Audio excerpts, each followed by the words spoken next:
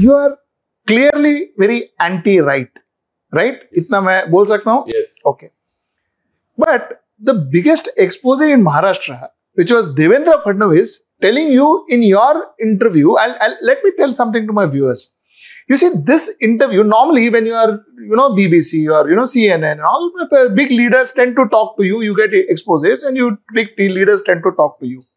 You, Raju, you went as Raju Parulekar without any channel backing. He went as Raju Parulekar and he possibly got the biggest expose in 2020, correct? 2020. 2020, where uh, the former chief minister of Maharashtra and the current deputy chief minister of Maharashtra told him that, you know, it was uh, Mr. Sharad Pawar who wanted to tie up with Bharatiya Janata Party and uh, Ajit Pawar was just a pawn uh, in that entire game. That is what, uh, long and short, what he said.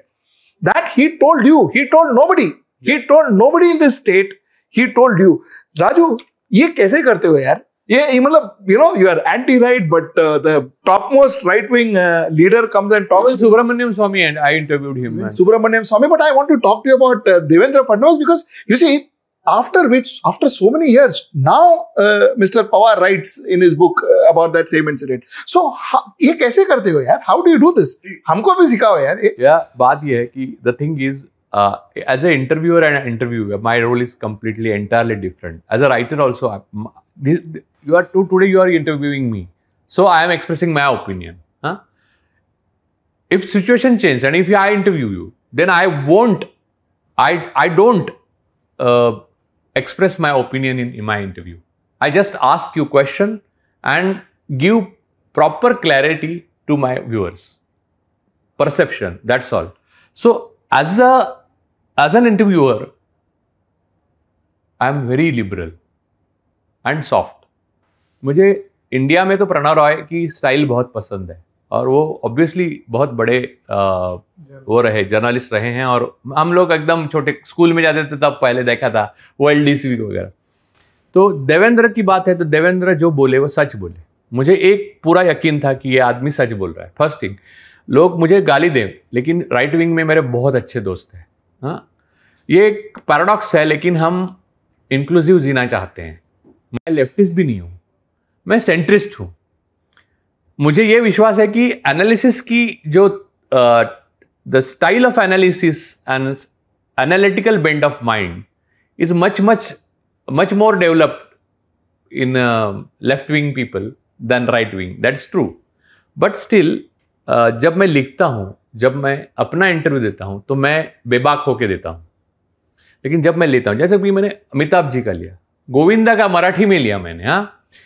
आप नाम लीजिए अ, गिरीश कर्नाड साहब का लिया विजय तेंदुलकर यानी Vijay Tendulkar first interview was yours first and last last interview yes correct वो लेते थे इंटरव्यू दिंडी नाम के एक प्रोग्राम में दूरदर्शन के टाइम में।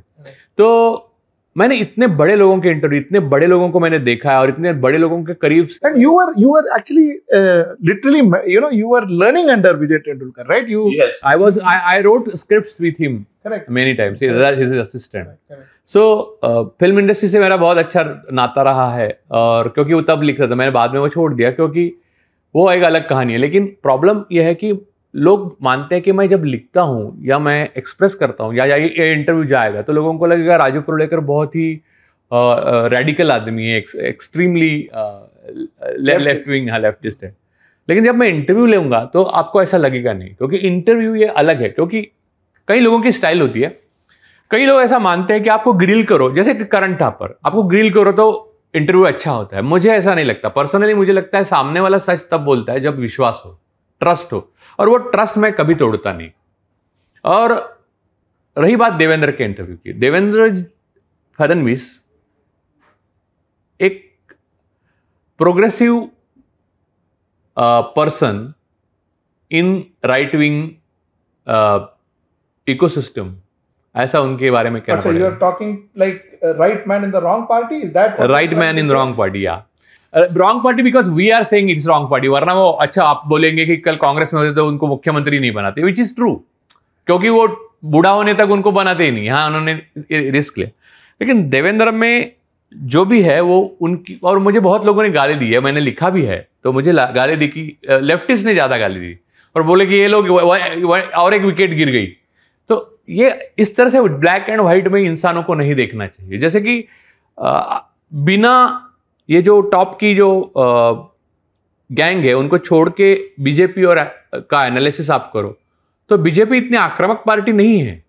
वो भी राइट विंग कांग्रेस ही है। ये समझिए आप वाजपेयी के टाइम में भी आपने देखा।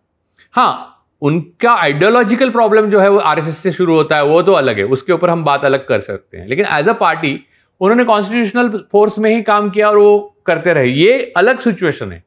ये आइडियोलॉजिकल वॉर तो है ही लेकिन एक सरकार अपने नागरिकों के खिलाफ एक जिन्होंने संविधान को जिन, जिनका जो जिनका संविधान पे विश्वास है जो संविधान का पालन करना चाहते हैं ऐसे नागरिक और लॉ एंड ऑर्डर का सहारा लेना चाहते हैं ऐसे नागरिकों के खिलाफ सरकार ने एक तरफा युद्ध जंग छेड़ी है।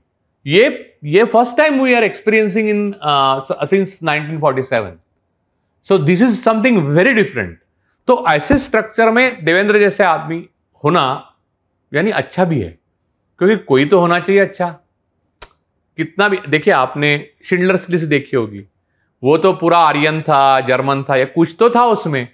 इसलिए आज भी हम लोग जब बात ये मैं So मैं me? No he is not Schindler I am not technique मैं ऐसा नहीं कहना चाहता। मैं कहना चाहता हूँ कि he would have been a better diplomat and political leader uh, in a different setup.